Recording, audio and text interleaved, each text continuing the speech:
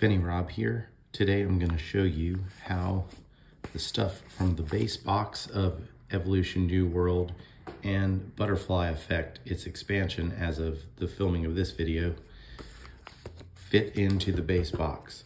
As you can see, I fit all of the shelter and food tokens into the three spaces. I don't know why there's only three, but I put the blue and the greens in there.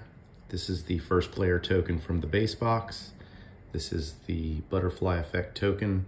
Put both of those into there. Over here we have all of the base game cards and I was able to find sleeves that fit. They were sleeve kings. I'll put a link in the description below.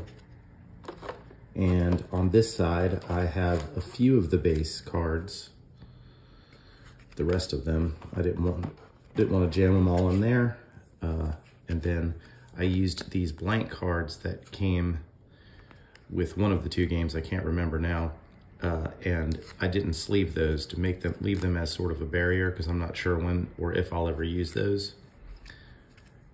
And then the expansion cards are below it, so that way I won't get them confused.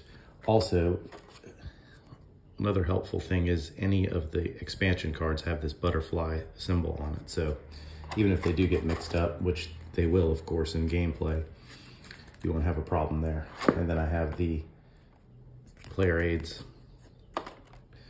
And that's that. Then we've got the trait reference cards for both games. And these are the AI for the solo version.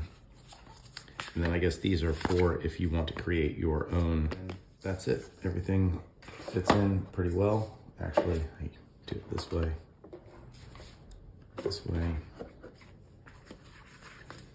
and then something like that. Keeps going. Fits on pretty good. There's just a little bit of room, but it fits on the shelf nicely. So it does fit in the base box the expansion and that's it. So thank you for watching. Please like this video and subscribe to the channel and watch my unboxings and my review of the base game Evolution New World.